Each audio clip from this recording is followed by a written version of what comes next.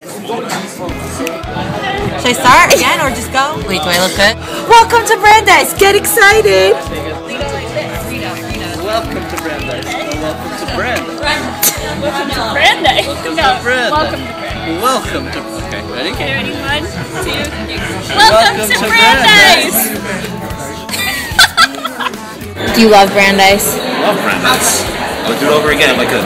I love the people because everyone is so friendly.